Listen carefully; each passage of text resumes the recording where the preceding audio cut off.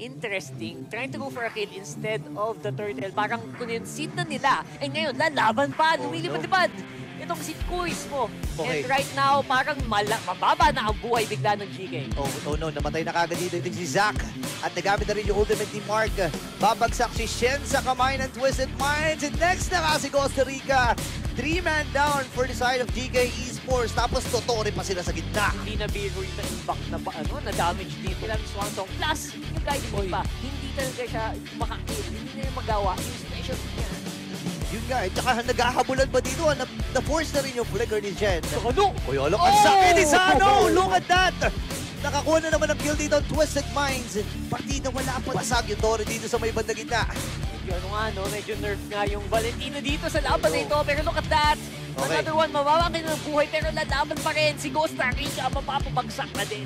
Oh no, si Koba din! Naku po, patay! Si Ito na Mark! members para dito dito si Thor. Grabe naman! bumalik yung buhay! Bumalik yung buhay with that favor boots. And this time, may si Troll ay mamamatay. Same with Mark.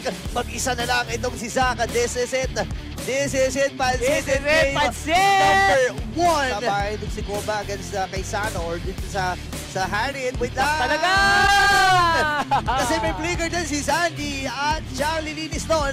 Pero yung Dragon Form, available yung kanyang Petrify. Hindi, wala siyang Petrify dito. Si Sandy ay pinagtutulungan ng members mula dito sa sumasayaw! Habang naisama din si Sandy dun sa kaligtasan sa Black Eagle from Troll. Si Costa Rica naman nagiging puntirya at tumagon na rin ito si Gavin. At doon yung Luminous Blast. Pero hindi yun na, na inaisa agad dito Wow! ni Shen. This time makapatay din muli siya ng isa. At mamamatay at mamamaalam din si Mark. Habol si Zack. Pero wala na siyang kaabutang tatlong members mula sa kanilang banan.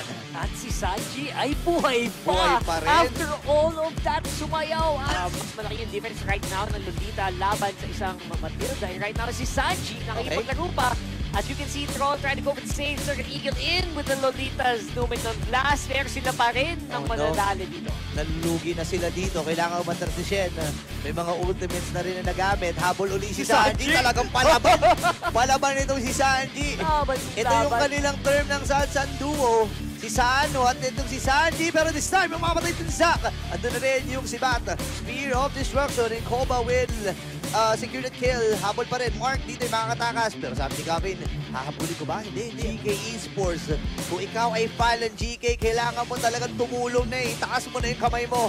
Ibigay ang energy para sa kanya. Pero nandun yung Spear of Destruction. Papasok pa dito itong si uh, Koba.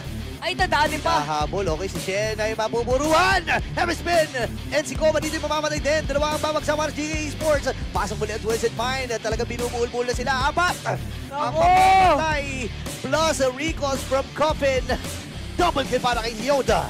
16 to 1. What a, what a kill score. Wow.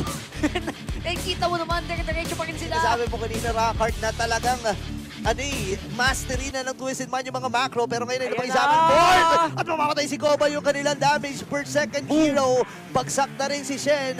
This might be the final push at ito na kakatok For ang kanilang MSC! ticket patungo sa MSC. Twisted Mind will secure this series and they're going to the grand finals. Pa-finals na ngayon, ang Twisted Mind secured na secured na and it did not look close. That was not a close game. Grabe, as in, in Filipino terms, pinalagbag. Binalagbag, Grabe, sagat. grabe itong laban na to. Ah, wala akong masabi dun. Obviously, yung identity ng MPL men namin, madugo, Madugo. bloody. Dali, Ah. kita, i- ilista nyo yan sa MSC. Ito yung mga kailangan nating abangan, no? Sa mga ganitong klaseng laro na I think tuwing may tuwing cooldown yung skill, laban. Oo, laban kung laban. Ang, ang tagal ko nang nakakita, hindi nakakita ng mga teams na ganito, di ba? A- Again, uh, nasanay tayo sa MPL Philippines na more on macro, secure ng objective, yung Sayaw wala, tayo sa Lord. sayaw sa Lords. Even sa Purple Buff nga, minsan sinasayawan pa eh. So, nasanay tayo sa ganun. But then again, nakita natin tong MPL Mena, may mga ano, may mga ginto tayong na nakita. Grabe. Iba ang galawan ng Twisted Minds. Congratulations po para sa kupunan na ito.